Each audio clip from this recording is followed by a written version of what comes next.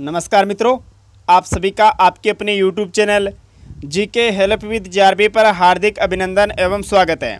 मित्रों, आज के इस वीडियो में हम बात करेंगे प्री बीएसटीसी और पीटेट एग्ज़ाम 2020 के लिए राजस्थान सामान्य ज्ञान के मोस्ट इंपॉर्टेंट 50 क्वेश्चंस के बारे में। तो वीडियो को अंतिम समय तक ध्यानपूर्वक देखें और अंत में आपसे एक जीके का क्वेश्चन भी पूछा जाएगा, जिसका जवाब भी आपको वीडियो के कमेंट बॉक्स में देना होगा। तो वीडियो को स्टार्ट करें। इससे पहले आपसे निवेदन रहेगा कि आपने अभी तक यूट्यूब चैनल को सब्सक्राइब नहीं किया तो इसे सब्सक्राइब ज़रूर करें और पास में बने हुए बेल आइकन को भी ज़रूर प्रेस करें ताकि जब भी हम न्यू वीडियो अपलोड करें तो आपको नोटिफिकेशन मिल जाए। चलिए स्टार्ट करते हैं। आज का फ़र्स्ट क्वेश्चन है आपके सामने। मेवाड़ के स्वाभिमानी महाराजा फतेह सिंह को 1903 ईस्वी में दिल्ली दरबार में जाने से किसने रोका था? तो मित्रों 1903 ईस्वी में जो दिल्ली दरबार आयोजित हो रहा था वहाँ पर जाने से महाराजा फतेह सिंह को रोका था, केसरी सिंह बारट ने इस क्वेश्चन का बी ऑप्शन राइट है। बहुत ही इंपॉर्टेंट क्वेश्चन है, बहुत बार एग्ज़ाम में पूछा गया तो ये आपको याद रखना है।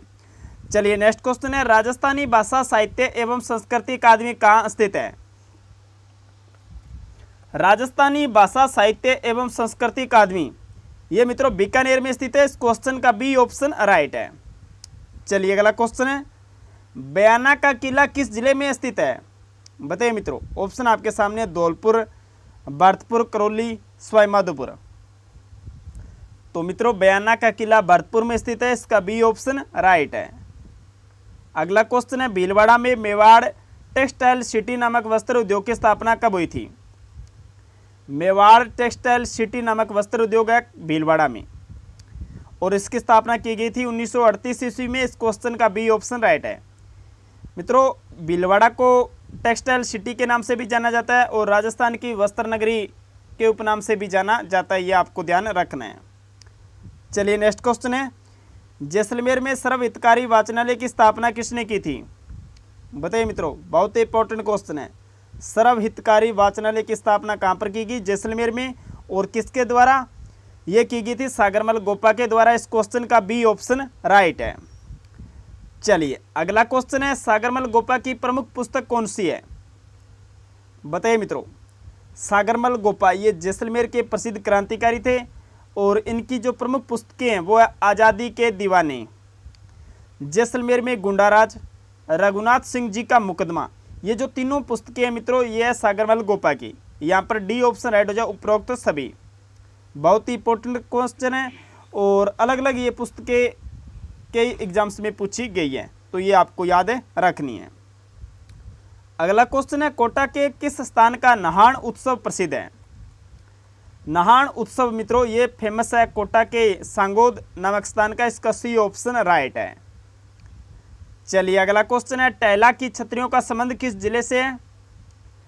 टहला की छतरियाँ, ये मित्रों अलवर ज़िले में स्थित है, इसका बी ऑप्शन में राइट है। चलिए नेक्स्ट क्वेश्चन है, कोटा, बूंदी, बारा तथा झालावाड़ के उत्तरी भाग में बोली जाने वाली बोली कौन सी है? मित्रों, कोटा, बूंदी, बारा तथा झालावाड़, ये ज़िले आते हैं हाड़ौती संभाग के अंतर्गत और यहाँ पर बोली जाती है हाड़ौती बोली, इसका सी ऑप्शन राइट है।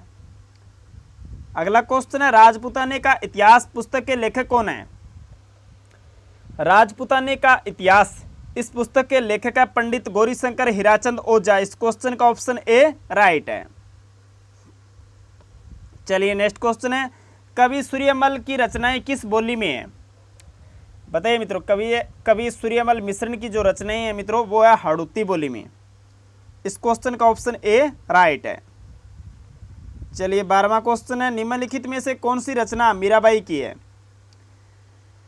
तो बात करें इनमें से मीराबाई की जो रचना है, वो है पदावली। इस क्वेश्चन का डी ऑप्शन राइट है।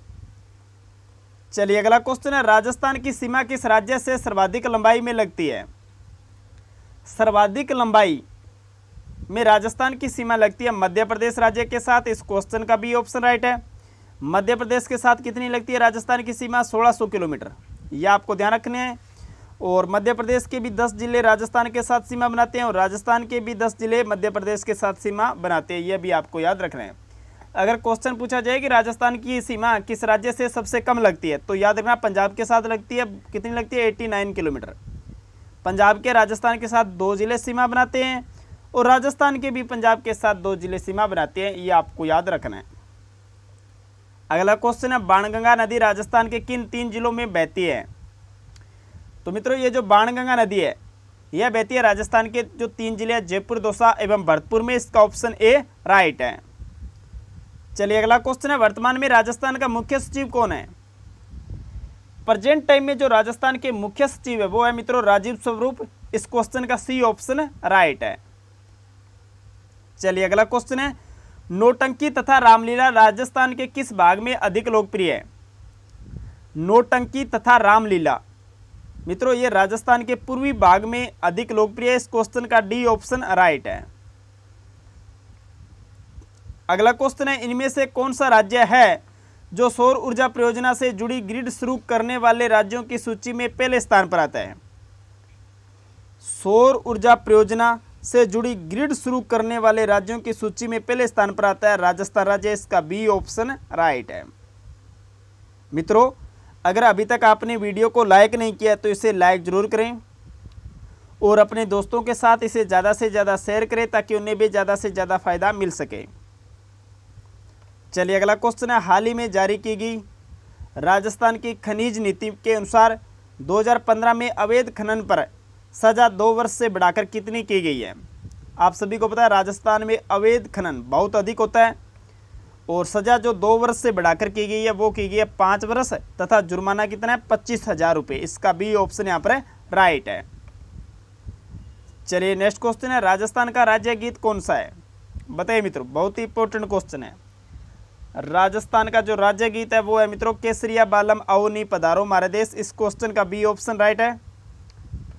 अगला क्वेश्चन है, बिसलदेव की प्रेमिका राजमती कहाँ के शासक की पुत्री थी।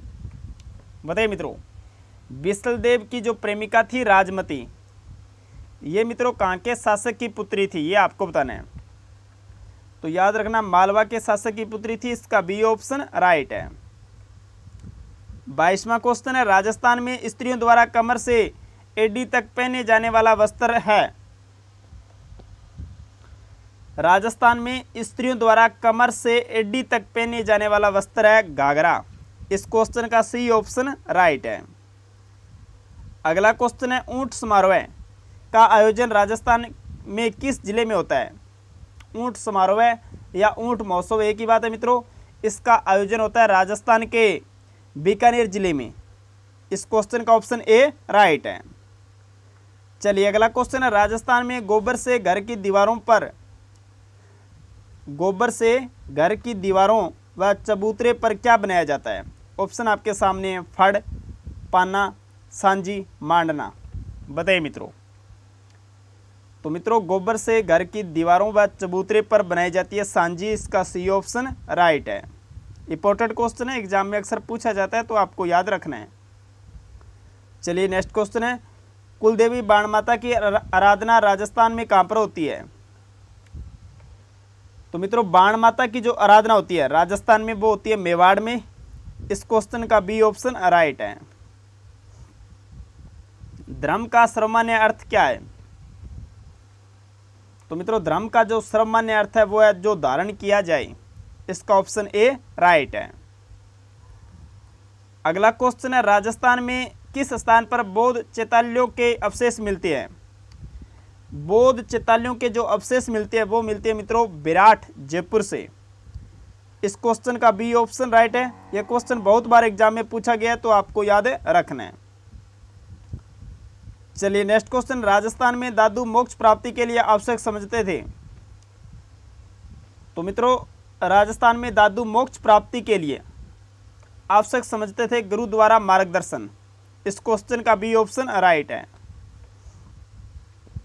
अगला क्वेश्चन है, सत्य सब विद्याओं का मूल है। यह कथन किसका है?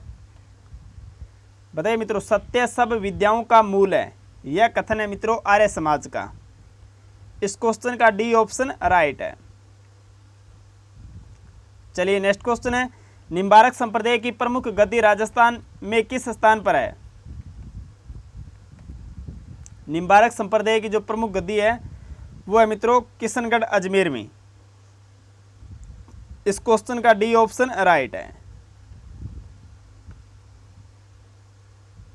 अगला क्वेश्चन है, एक राठौड़ सरदार ने राजस्थान में सर्वप्रथम ऊँट प्रयोग किया और गोरक्षा भी की, वह कौन था? एक राठौड़ सरदार ने राजस्थान में सर्वप्रथम ऊँट प्रयोग किया और गोरक्षा भी की। वो थे मित्रों पाबू जी लोक देवता पाबू जी इस क्वेश्चन का बी ऑप्शन राइट है। क्योंकि मारवाड़ में सर्वप्रथम ऊँट लाने का श्रेय जाता है पाबू जी राठौड़ को। इसलिए पाबू जी को ऊँटों का देवता भी कहा जाता है और जब ऊँट बीमार हो जाता है तो मित्रों पाबू जी की फड़ का वाचन किया जाता है यह आपको ध्यान रखना है। अगला क्वेश्चन है, राजस्थान में बिश्नोई पंथ की मान्यता है। तो मित्रों, इसका डी ऑप्शन रहेगा उपरोक्त सभी। अपमान सहकर भी धर्म के मार्ग पर चलना। हरे वृक्ष नहीं काटने चाहिए। सदैव शालीनता व संतोष का पालन करें। यानी कि इस क्वेश्चन का डी ऑप्शन राइट है। अगला क्वेश्चन है राजस्थान में अलग पच्चीसी तथा परमार्थ विचार जैसे ग्रंथों के लेखक कौन से संत है? बताइए मित्रों। अलग पच्चीसी तथा परमार्थ विचार जैसे ग्रंथों के लेखक है मित्रों, चतुर सिंह जी। इस क्वेश्चन का बी ऑप्शन राइट है, चतुर सिंह जी। चलिए नेक्स्ट क्वेश्चन है, राजस्थान के हाड़ौती क्षेत्र में अत्यंत उमंग व उत्साह से मनाया जाने वाला त्यौहार कौन सा है? बताइए मित्रों, हाड़ौती क्षेत्र में अत्यंत उमंग व उत्साह से मनाया जाने वाला त्यौहार है दशहरा। इस क्वेश्चन का बी ऑप्शन राइट है। चलिए अगला क्वेश्चन है, किस शिलालेख में चौहानों को वत्स गोत्र का ब्राह्मण कहा गया है।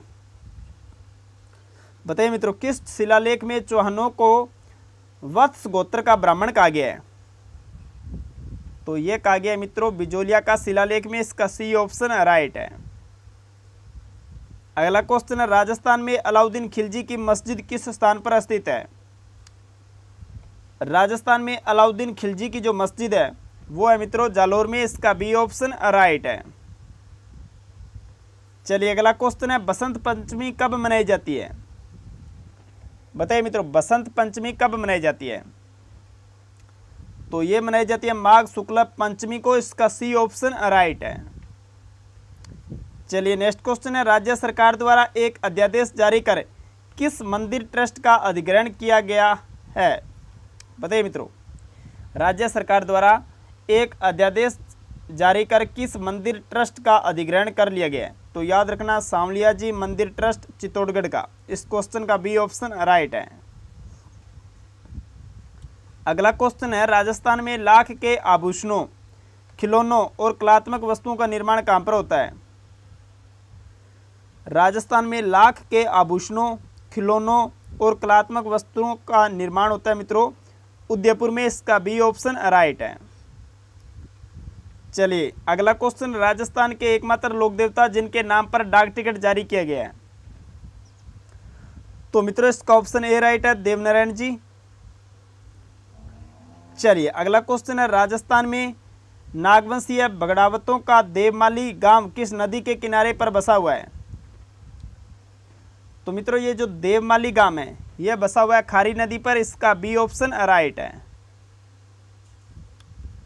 चलिए नेक्स्ट क्वेश्चन है, राजस्थान में चित्तौड़गढ़ के गिरिदुर्ग का निर्माण किसने करवाया था? तो चित्तौड़गढ़ का जो गिरिदुर्ग है, इसका निर्माण करवाया था चित्रांग मौर्य ने। चित्तौड़दुर्ग इसका निर्माण किसने करवाया था? चित्रांग मौर्य ने। इस क्वेश्चन का बी ऑप्शन राइट है। और ये चित्तौड़गढ़ दुर्ग है मित्रों, ये मेसा के पठार पर स्थित है, ये भी आपको ध्यान रखना है। चलिए अगला क्वेश्चन है महाराणा प्रताप का जन्म किस दुर्ग में हुआ था? महाराणा प्रताप का जन्म हुआ था मित्रों 9 मई 1540 को। कुंभलगढ़ दुर्ग में इसका बी ऑप्शन राइट है। अगला क्वेश्चन है, राजस्थान के किस दुर्ग की ऊंचाई तथा विशालता के लिए कहा जाता है कि इसे देखने पर पगड़ी गिर जाती है? यह क्वेश्चन इंपॉर्टेंट है एग्ज़ाम में पूछा गया है। तो मित्रों, ऐसा कहा जाता है कुंभलगढ़ दुर्ग के बारे में कि इसे देखने पर पगड़ी गिर जाती है। अगला क्वेश्चन है, मेवाड़ शैली की विशेषता है। तो मित्रों, परमल जैसे नेत्र इस शैली की प्रमुख विशेषता रागमाला का चित्र है। लाल व पीले रंग का अधिक प्रभाव है। उपरोक्त सभी इसका डी ऑप्शन राइट है। ध्यान देना, परमल जैसे नेत्र इस शैली का जो प्रमुख विशेषता है वो है रागमाला का चित्र और इसमें प्रयोग किया जाता है लाल व पीले रंग का। तो इस क्वेश्चन का डी ऑप्शन राइट है। अगला क्वेश्चन है, कालीबंगा सभ्यता के लोग किस लिपि का प्रयोग करते थे? कालीबंगा सभ्यता मित्रों, हनुमानगढ़ ज़िले में स्थित है। और यहाँ के जो लोग थे, वो सेंधव लिपि का प्रयोग करते थे, इसका डी ऑप्शन राइट है। चलिए, नेक्स्ट क्वेश्चन है, विराट में किस सभ्यता के अवशेष पाए गए हैं? विराट में मौर्यकालीन सभ्यता के अवशेष पाए गए हैं, इसका सी ऑप्शन राइट है। अगला क्वेश्चन है, बिजोलिया शिलालेख की स्थापना किसके द्वारा की गई? तो मित्रों बिजोलिया शिलालेख की जो स्थापना है, वो जैन श्रावक लोल्लक के द्वारा की गई थी, इसका बी ऑप्शन राइट है। आज का अंतिम क्वेश्चन है, राजस्थान का प्राचीनतम शिलालेख कौन सा है? राजस्थान का जो प्राचीनतम शिलालेख है, वो है मित्रों, बडली का शिलालेख, इस क्वेश्चन का बी ऑप्शन राइट है। तो मित्रों, ये थे मोस्ट इंपॉर्टेंट पचास क्वेश्चन आपको ये वीडियो कैसा लगा, ये वीडियो के कमेंट बॉक्स में ज़रूर बताएँ। और इन पचास क्वेश्चन में से आपके कुल कितने क्वेश्चन राइट हो रहे हैं, यह भी कमेंट बॉक्स में ज़रूर बताएँ। और आपसे निवेदन रहेगा डिस्क्रिप्शन में लिंक दिया गया है टेलीग्राम चैनल का, उसे ज़रूर ज्वाइन करें। वहाँ पर आपको राजस्थान सामान्य ज्ञान से संबंधित नोट्स मिलते रहते हैं तो इसे ज़रूर ज्वाइन करें। चलिए अब बात करते हैं लास्ट वीडियो में जो आपसे क्वेश्चन पूछा गया था, उसके बारे में। लास्ट वीडियो में आपसे क्वेश्चन पूछा गया था कि सुमेल का युद्ध जिनके बीच लड़ा गया, उनके नाम है। तो मित्रों, सुमेलगिरी का युद्ध राम मालदेव व शेरशाह सूरी के मध्य हुआ था। इसका बी ऑप्शन राइट था और आप सभी ने इस क्वेश्चन का जवाब राइट दिया। आपको पुनः कहता हूँ क्वेश्चन का जवाब आप कमेंट बॉक्स में ज़रूर दिया करो। चलिए, अब बात करते हैं क्वेश्चन ऑफ़ द डे के बारे में। आज का क्वेश्चन है, वह चीनी यात्री जिसने बीनमाल की यात्रा की थी। कौन है? ऑप्शन आपके सामने है, संयुगन, वेंशवांग, फयान, इनमें से कोई नहीं। तो इस क्वेश्चन का जवाब आपको वीडियो के कमेंट बॉक्स में देना है। मिलते हैं नेक्स्ट वीडियो में। बहुत जल्दी। तब तक के लिए जय हिंद, वंदे मातरम, जय भारत।